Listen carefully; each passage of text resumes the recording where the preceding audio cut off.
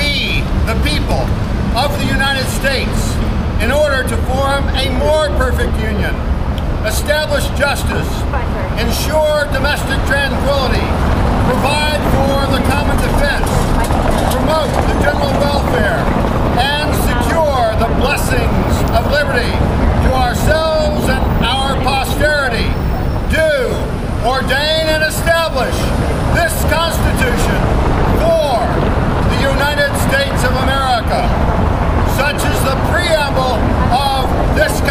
Constitution for the United States of America. Notice I say this Constitution for the United States of America, not the Constitution of the United States of America. The Founding Fathers were very careful about details. This means this document. For is a word that indicates past tense, present tense, and future tense. It was for us in the past, it's for us in the present, and it's for us in the future. It's for posterity. It's for our children and our children's children's children.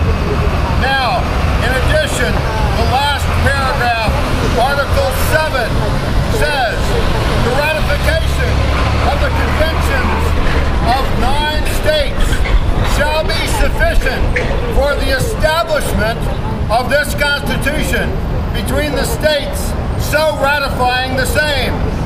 Done in convention by the unanimous consent of the states present.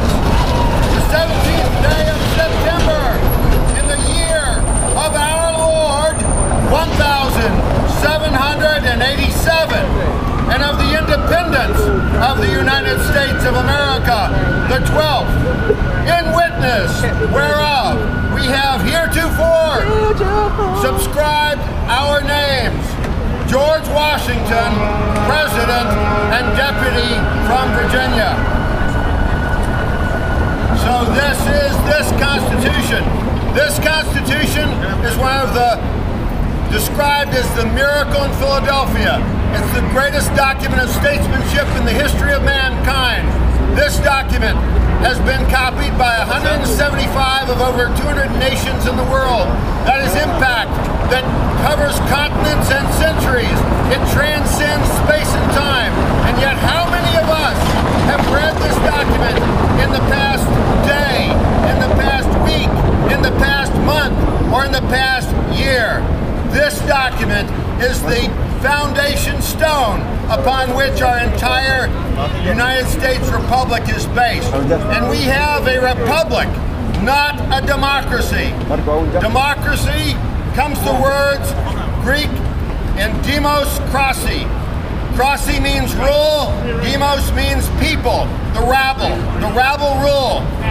Republic comes from res publica, Rex means king. Res is object of the king. Object of the king is the rule of law. Publica is the organized group of people. So you can have rabble rule with democracy, or you can have republic, rule of law for the benefit of the people. So we have a republic in America, not a democracy. So we may fight for liberty, but we never fight for democracy. Such the founding fathers feared a democracy, and John Adams, my vice president, said that a democracy is like a mobocracy.